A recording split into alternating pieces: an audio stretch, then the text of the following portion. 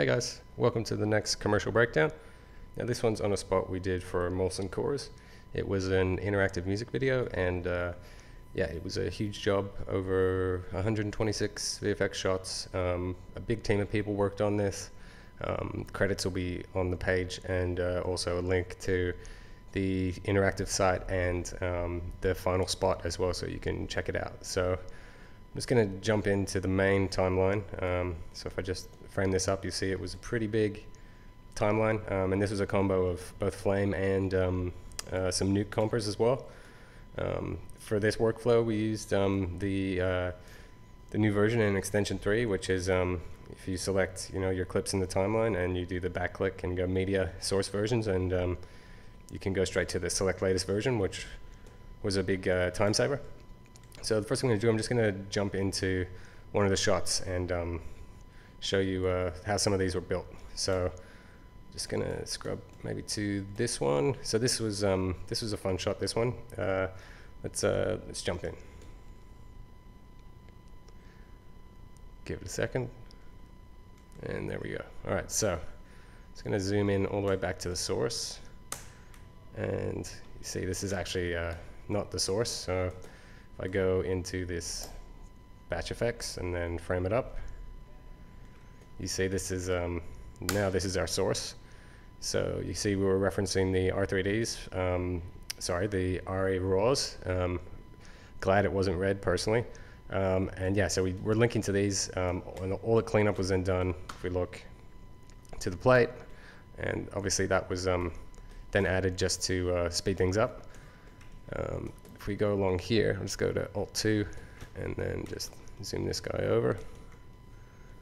And again, the other thing to note is this uh, recording is going to be slightly clipped at the bottom just because I'm using the uh, SDI out from my uh, monitor. So this is just all of the layering of all the keys of all the girls. Um, for the most part, I was able to get away with keys, um, uh, even though they weren't, um, like you remember, uh, shot on green for the bottom. So we got away with a bit. Um, obviously, there was a bit of paint involved. Um, now if we move further down, so we made a matte just for him, um, and that'll make sense in a second because we actually built a projection uh, scene for this actual comp. So if I go along over to the left, this is where all the, the color works kind of starts um, once they're in comp. So this first one was just for, um, if I go F1 at 4, it was their skin tones, and then we did some desatching. So these are won't make sense right now, but there's some desatch going on here, so it all kind of trickles down. Um, this one was for the overall brightness of their uh,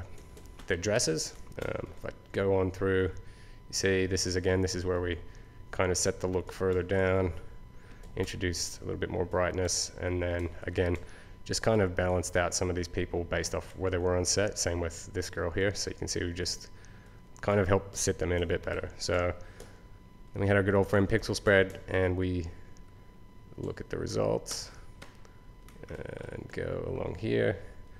I'll ignore that mess for one second. Let's go Alt 1. If we go down here, here is our actual source. Um, so this is our 3D uh, scene that we use to project further down here. Again, we did some little helpers for the, where the reflections were, because that was obviously a challenge putting those back in, and the contact shadows. If we just go all the way across and look at this first comp, this is actually where, once it updates, this is where the reflections actually first go in. Um, so we do it pre-projection, and um, I'll just show you how those were built. So we just separated each of the elements with the girls, and then it was fed into a 2D transform, and they were they were flipped, which is you know a little bit easier because they were static, which really helped. So F1, F4, you can see what we're doing.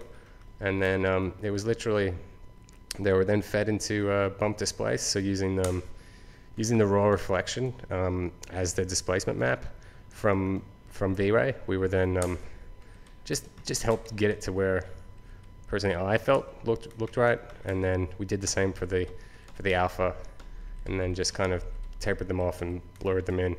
And what we ended up using for the blend modes for these guys was uh, min darken. So each of them had slightly different opacities for all these guys. Um, obviously, they needed to kind of taper off. So then the next step was we just kind of blurred them back a little just to kiss them in. And again, we step through, there's some other little kisses of highlights and specular and so on and so forth. So forth. Depth of field was the next little guy um, that helped sell the shot again. Um, now the next step was the main comp. If I press escape, give it a second. Okay, so this is, um, if I press F4, uh, that's that error that comes up sometimes, which is fun. If I press preview, it should disappear. There we go. So this is the actual uh, the build of where we where we where we left everything. So if I actually can see um, this is all the geo, and uh, this is just diffuse, and it's a you know the new diffuse projector. So if I select it and just press H and hide it, and it's not going to let me. This preview bug's kind of annoying. Uh, there we go. So I pull back. Um, if I hide that and then just again just turn on shading, you can see there's our there's our room. So we've got the geo in here, and I'll just put shading back off and unhide these guys and press F4. So if I just um, orbit this really quick, you can see there's our little our little uh, scene with them placed in the, the relative space where they should be. Um, I'll just quickly undo. And what we did, if I just quickly turn on play lock and scrub through, you see we've just done a little slight push in and a little bit of a, a dolly up just to give this uh, a little bit of life. Now the other thing is um, obviously we put in some of these contact shadows. So if I just undo with play lock, give it a second. Um, and we look over here. So each of these had their own contact shadows that we then put back in. And uh, how we did those was if I just double click and follow the trail. Um, again, we just added Gmask specific to where talent was, blurred it up, and then um, we ended up playing with the gain and it just kissed back in what we wanted. And again, each one had its own kind of values specific that we were, we were liking. Um, so out from here is where we kind of uh, obviously kissed some edges together more. So if we go F4 here, so that was again just kissing in some extra little bits. Um, we go to this comp. This is some light wrap to help the girls kind of sit in there, and it really helped, especially around their legs. And this was just a test on some shadows. It didn't work. Um, again, there's our regrain, some more color work, just little uh, little tweaks just for all these guys to get them across the line. And then we go to the end, I'll go here. And you see there's our, if I go 100%, there's our final shot. And uh, I'm pretty happy with how this, um, this shot turned out. Um, let's uh, jump into another one. So just jump out. Just undo so I don't lose that render.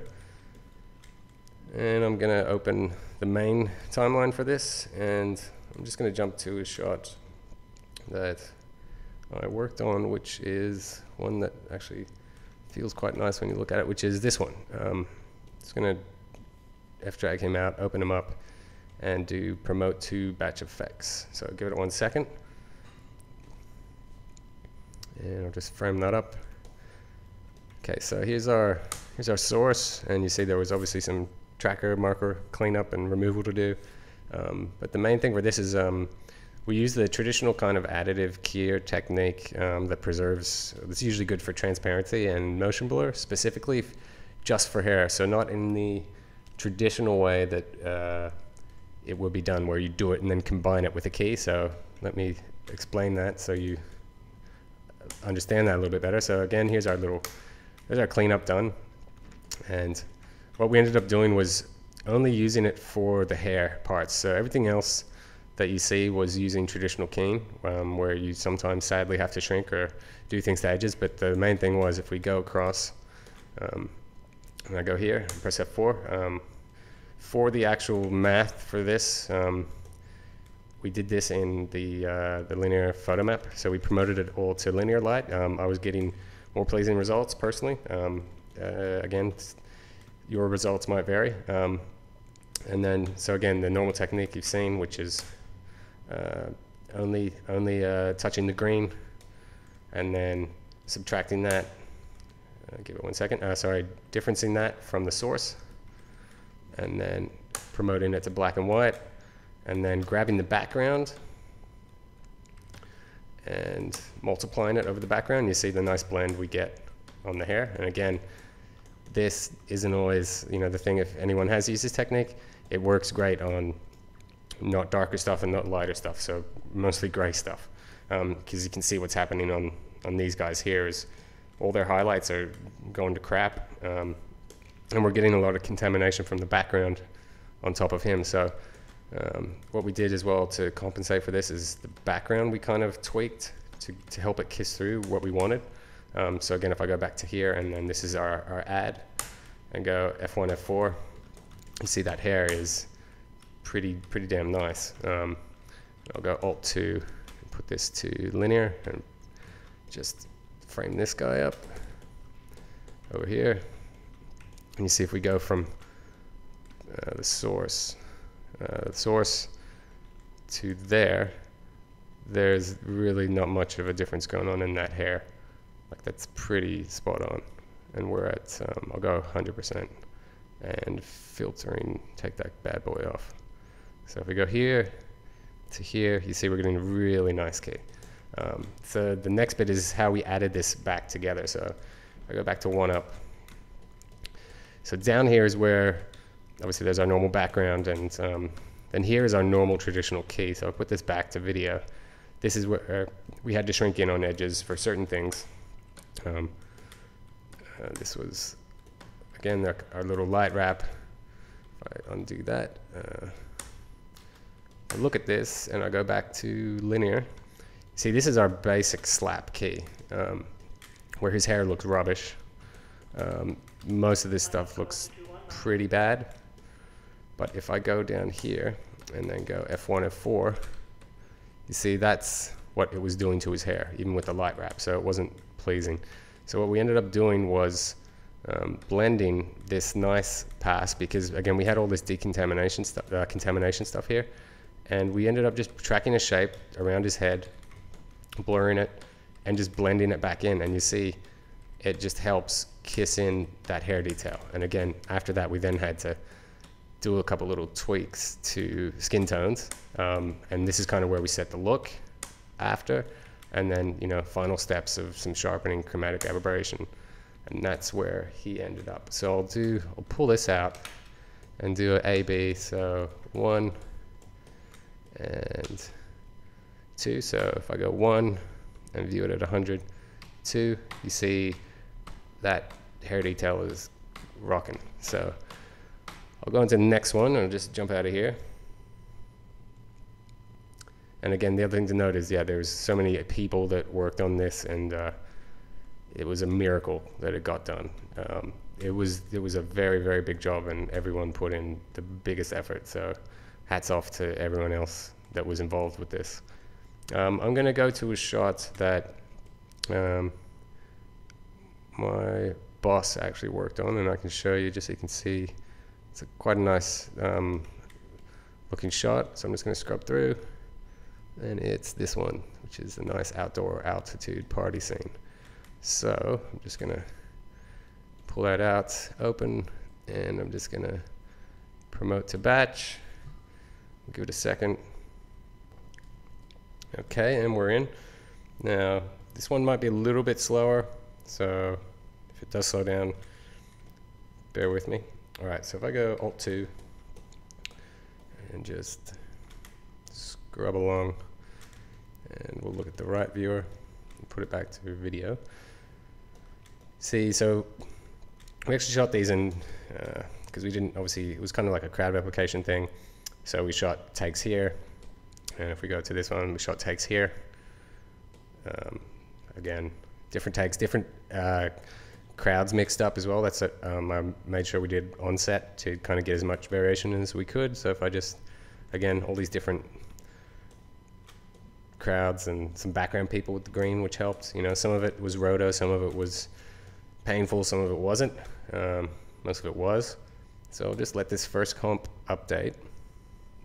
And this is the little spider web of these guys and this was the actual FBX that had the camera move, I'm pretty sure. Um, if I go shift 4, turn on icons, yes, so this is where the camera move would have happened, and I just scrub through, actually it's going to bog down, because it's referencing so many. Give it a second.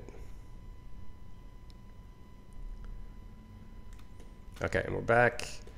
Um, and then after that, so if we go back down here, this was a matte painting projection provided to us. Um, Guessing it was done in Nuke. I'm not sure. So it wasn't actually built in here, this one. Um, it's a nice, beautiful uh, matte painting. And then if we swipe to the left, you know, it had depth of field added like you'd expect. And then this is the main comp for shadows for these guys. Give it one second. And it's thinking. Okay, there we go. So again, if I go F1, F4, oh sorry, F2, F4, so background thingy, so there's a little bit of Atmos added. Um, the crowd sat in there, and you know, uh, looks pretty good. Um, you know, then the usual stuff, some edge blur, some color, uh, you know, tweaking. I go further down, again, just some final little, little pings and highlights.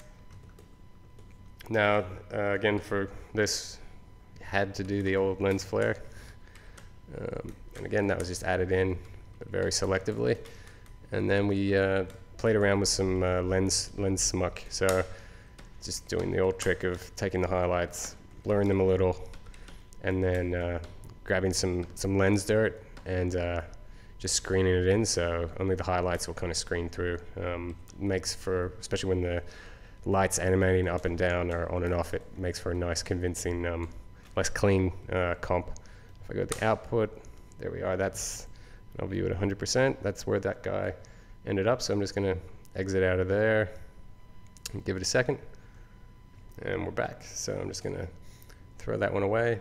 And that's kind of, um, I guess, as far as a, I mean, we could keep going and going and going for this. I mean, those are uh, kind of key shots that I've, I felt um, really, uh, I personally that I worked on that I was uh, most most proud of, and um, I hope you guys uh, found uh, some of this useful, and um, you know, hopefully you learned something from it. Um, that's it for this uh, breakdown, guys. Uh, stay tuned for more.